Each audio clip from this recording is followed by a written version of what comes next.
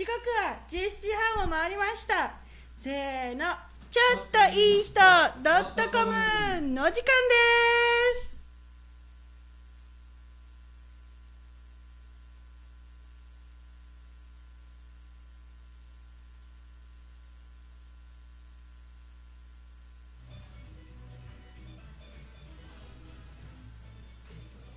Welcome back. ちょっといい人 .com」とはちょっとだけいい人の集まりです。この番組はちょっといいことをしやすいちょっといい人が住みやすいちょっといい人がたくさん増えるように頑張る番組です。何を頑張るかって？そうです。ちょっといいことです。イエーイ！今週もやってきました。近所ターニャプチョ MC です。よよろしくお願いします。そして大統領レギュラー来てます。よ元気ですか？うん、そうよ。今日は生まれて初めて1時間の打ち合わせというものを やったので。なので皆さんあのこの30分楽しめたらいいかなと思います、おいえ。ね今日はりょうさんもいろいろ告知があるっていうことなんだけど。一つあとっても楽しみさが OK、い、いよ3つも。3つも4つも。話そうよ。もうこの1週間のね、1回りょうさんと会うの楽しみなんですよ。目合いながら言う話照れますね。OK 頑張ろう。はい、っていう感じでお送りします。はい、また FM 講座ではツイキャスで映像と音声を配信しています。FM 講座のホームページから見ることもできますので、そちらもお楽しみください。大きいことは難しいけど、ちょっといい人になら誰だってなれる。ちょっといい人でつながっていきましょう。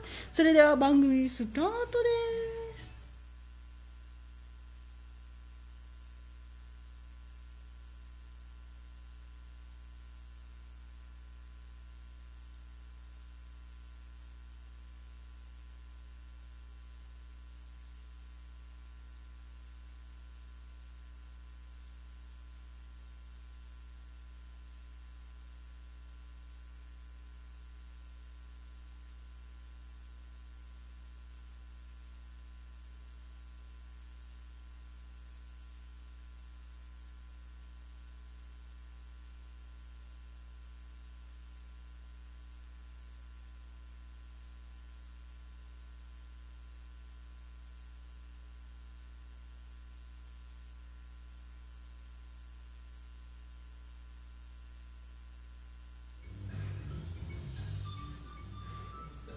Welcome back. 今週もやってきました。ちょっといい人 .com ですよ。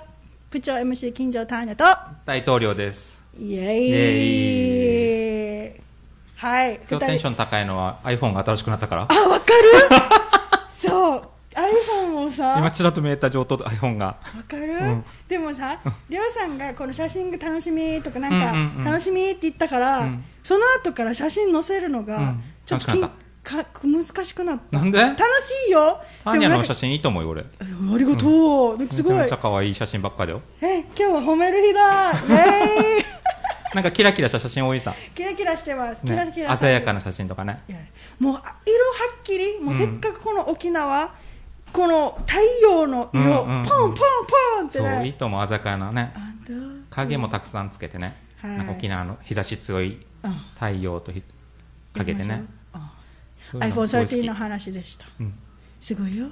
何が？iPhone13 あそうまた続いてる。でしたっていうか終わったなあすごいのが言いたい。私、10だったわけ、うん。10だったすごい進化した。うん。10から13さ、うん。もうカメラがうん。分からんけどこれ3つって言うんですか、3つついてるしね。うん。なんか接写もできるらしいね。拙者ってあの何ですか？近いところの写真。え？うん、ドアップとかで、うん、ドアップ？ドアップ。だから毛穴がすごいわけ。あもうこれはいらない機能。乗せきれない。そう、もうやっぱあれはフィルター。フィルター。はい、はい。すいません。なんかすごい話になってきたけどドロッツシャッポン、今日もねちょっといい人だったかも。あうん。ちょっとゲストが来てます。おちょっと。ちょっと ちょっとなのよちょっと ねちょっといい人 .com 由来を、うん。ねオープニングでも言ってるけど、うん。なんかねちょっといい人なんだけど、ん。じゃあ本当はすごいいい人、うんうん。だけど、まあ、あえてちょっといいって言って、うん。なんか盛り上げてる感じ。そうそうそう。で本当すごい人。で今回はねあのドギーテールうん。ちなさんはい。になるんですけど、皆さんねはい。ちなさんね。ドギーテールさんじゃなかドギったね。ーテールさんって最初ねあのスタジオで言ったんだけど、はい。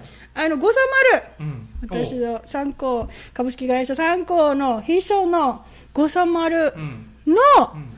ヘアアーティストです、えー、あそうなんだ。そうなの。はそう。でそのヘアアーティストもう本当に大人気で五三丸カットいつも、うんうん。どこで切ってんの？なぬぬなぬぬぬそう。でどんな注文を投げても、うん。1回目は深呼吸してる。あの千奈さん。なんか深呼吸して「タニャまた来たか」なんか。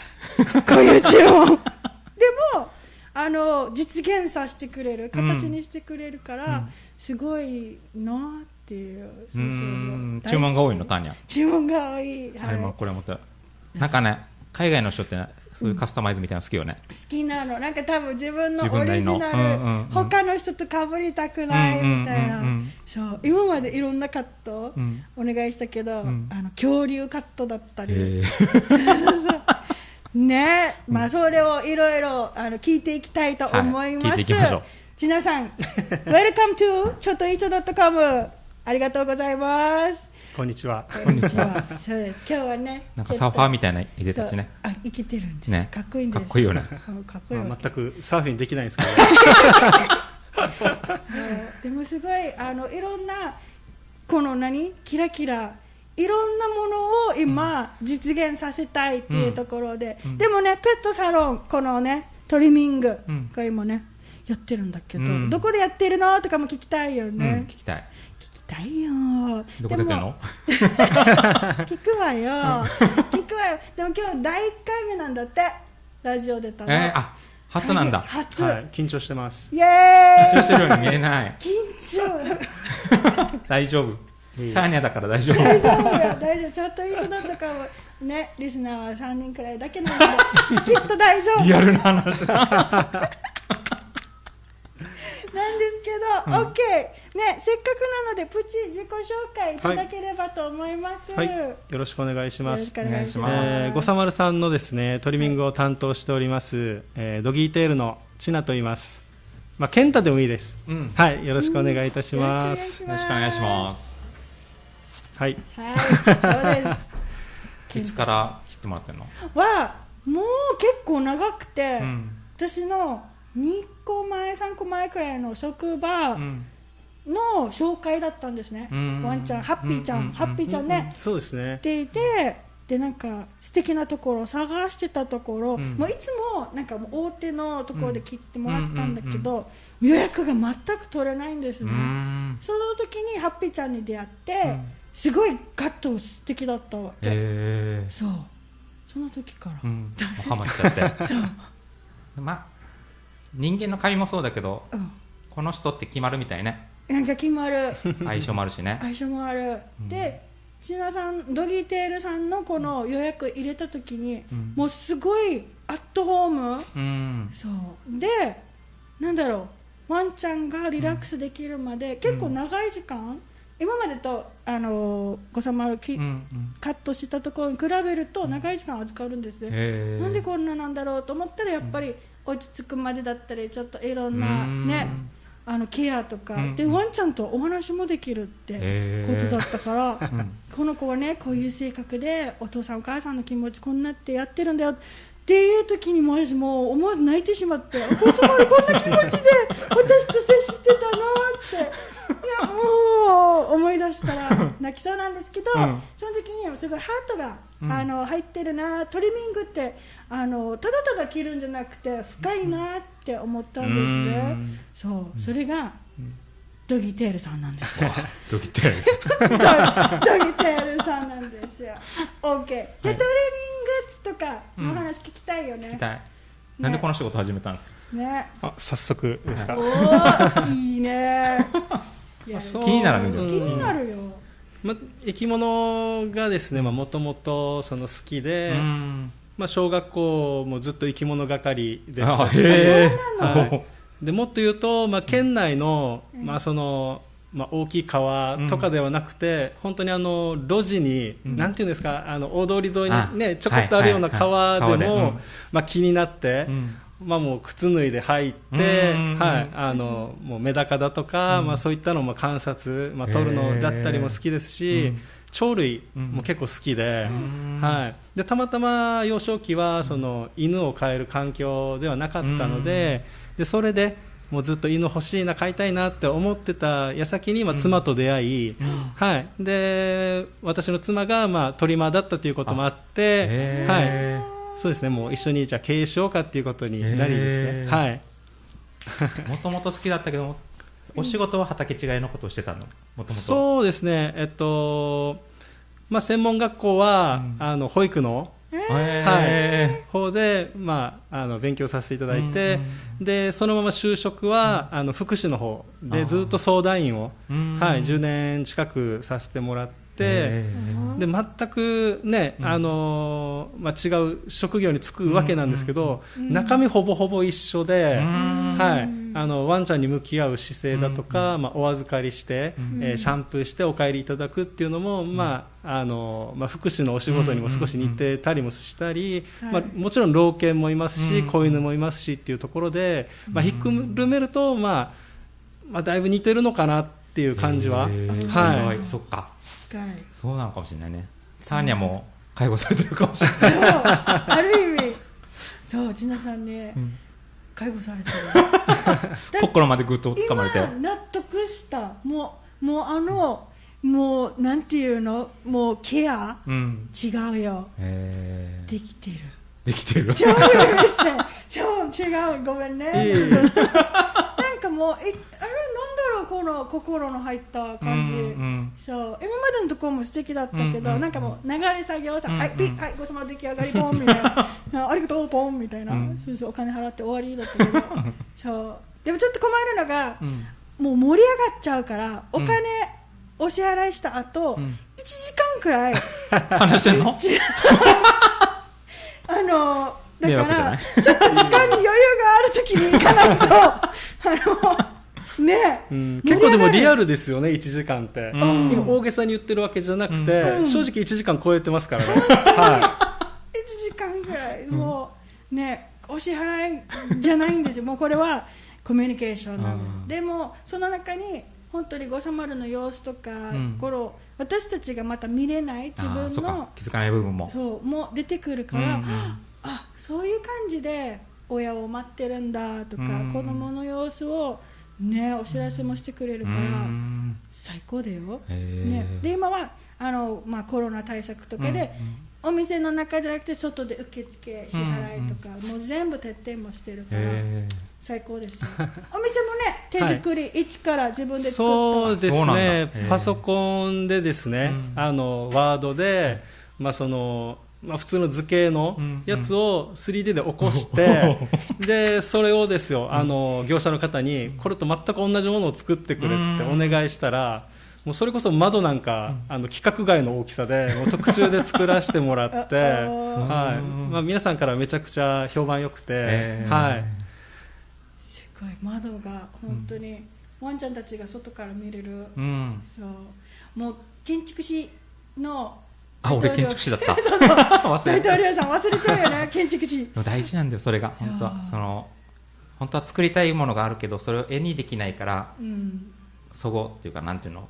思い違いがこう生じたりするんだけど建築士と施主さんに、うん。施主さんがそういうのをちゃんと作ってくれるとイメージがもう共有できるのでうん。すごい大事。言葉よりは、うん。言葉も大事だけど、ん。こうイメージ図とかどっかのお店の写真とかそういうスクラップにして持ってきてもらった方が一番いい。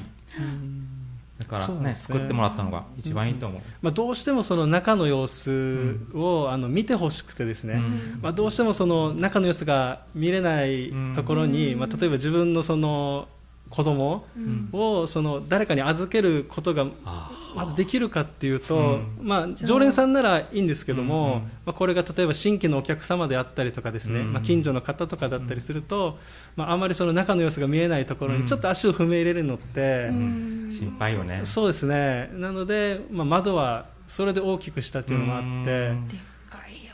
緊張感あるんじゃない？この見られてる感で。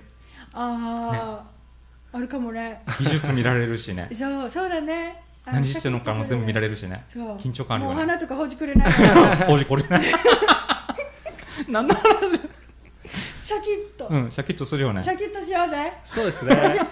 まあでもその見られてる分、まあうん綺麗にしなくちゃいけないのとうんうんか、うん。まあ、そういう意識の面ではすごいいいのかなってはね、あーいいかもしれない、はい、あとはもう自然光が入るっていうのがすごい良くて、ー。はい、やっぱワンちゃんも生き生きしますし、ううん。んすごいいいかなって思いますね。すごいよ。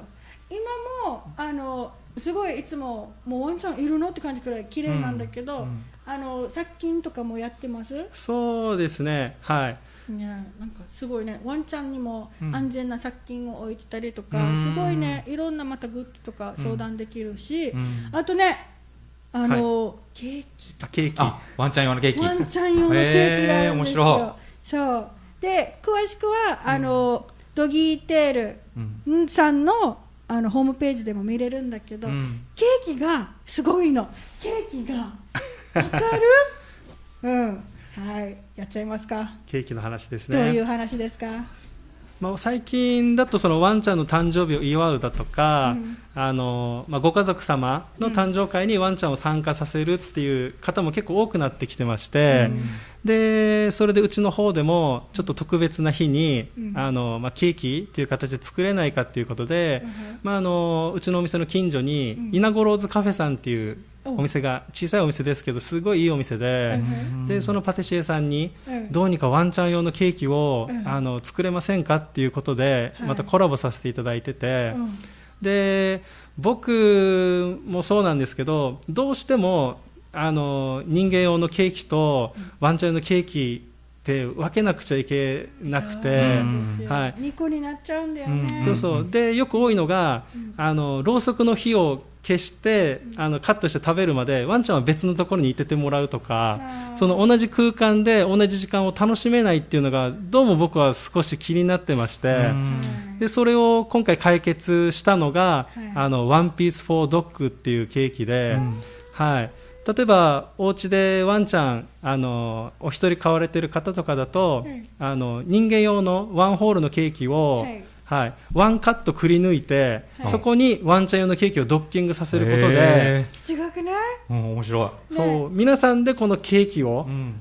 だからあの、うん。人間のはここで注文して、ワンちゃんのはここで注文してっていうこともなく、うん。デザインもそのままあのやってくれるので、ネーミングだとかですね、はい、それはすごいいいアイディアだなっていうことで、うん。どうにかそれを、はい、去年実現させたっていう感じですね。へはい。1匹じゃなくてじゃあ2匹3匹いたらその分のカットは中に準備して。そうですね、ワンピース、ツーピースっていう形で、あの、うん。はめ込み式になってて、でもうん、上から見ると、一つのケーキなんですね、ホールケーキになってて。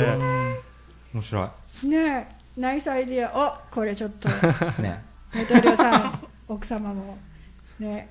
ドギテールってどこにあるんですか？あ気になるドギーテールはあの沖縄市の海宝という場所にございまして、うん。あのー多分ターニャさんはね結構わかると思うんですけどもうめちゃくちゃ住宅街で、住宅街。あのーもう説明しないとちょっとあのーわかりにくいんですよそうなんねですよ、もう何年も通ってるけど毎回迷うんですよ私も。一本ちょっと全部結構似ててそう一本メインからパッて入るかあのタコ公園っていうんですか？そうですねマンタ公園？マンタ公園、うん。マンタ公園か海よりに1本2本入るんだ。ピンポンピンポンでもめっちゃ近い俺。ー今ググってて思ってた。近いめっちゃ近い。バレた。あ個人情報すいませんでした。OK でも、はい。あのーね素敵な住宅街の中にあるんだけど、大人気ね今予約はどんなですか？予約がですね今ちょっと2週間ほど待ちになってまして。めっちゃ人気店じゃん。そうなんですよ。すげえ。そうよ。だからうん。前もってやらなきゃいけないんだけど、その中でもあのドルッドッドン私が気になってる、うん。ですごいあのござまるの景色も、うん。いつもふわっとしてお。帰ってくるんだけど、うん。このネーミングがファーメイク？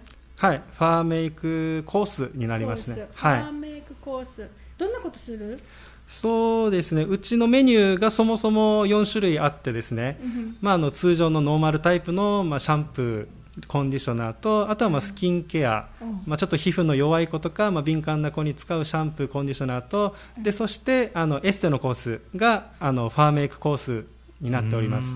エステ？だよワンちゃんのエワンちゃんのエステ。ステやられた。もうワンちゃんもエステする時代。だからさ。すごい。なんかすごくライファーメイク。で本当みんなあの写真もねインスタグラムにあるんだけどふわっとした顔してさ、うん。シャンプーの姿とかさリアルに気持ちいい顔してます。あ俺この建物見たことある。ありますか？今散歩中に通ってた。あのいい建物だなと思ってあベそうでサロンだったんだ。そう。でそれはねうん。ドギテールさんが作った。うん可愛い建物だよね。可愛いいます。物なんですよ。わーすごい。じゃあそこでい。きなり告知シリーズ、トゥンパンピンポン。りょうさん 今日は告知があるということでそうあるんですよ。最初らへんにおあの話ししてましたが、今日 T シャツ作ってきたんです。え？ついさっきちょっとこの T シャツをディスクライブすると、北方領土の経緯。経緯。はい。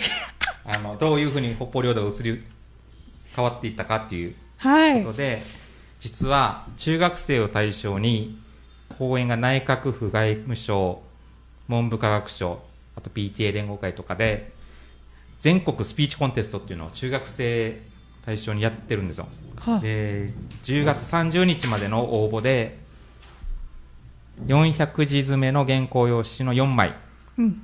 を出してもらえれば沖縄県で1回選考してで全国に行ったら全国でもし表彰されたらはい。大臣表彰されるので,、あ素晴らしい。はい、で過去去年はそうじゃないんですけどその前の4年連続ずっと沖縄県が最優秀賞を取ってたので、うん。ぜひ、えー北方領土に関する全国スピーチコンテストはい。の前の作文コンクールに応募してほしいなと思います。ありがとうございます。どんなって応募しますか？これ、えーどうしよう。ね。全国スピーチコンテストで多分検索してもらえたら北方領土全国スピーチコンテストで、出てきますか、はい、出てきます、OK で迷った方は、はい。あのタイニーズ・イングリッシュカフェに連絡したり、はい。大統領さんに直接いたずら電話したり、はいっていう感じでおお願いします。はい。ドギテールさんにっていう感じね、はい。OK Thank you very much あ for り the 告知。はい、北方領土コンクール作文コンクールですね、はい。作文書き書きたいね。かける書きたいね。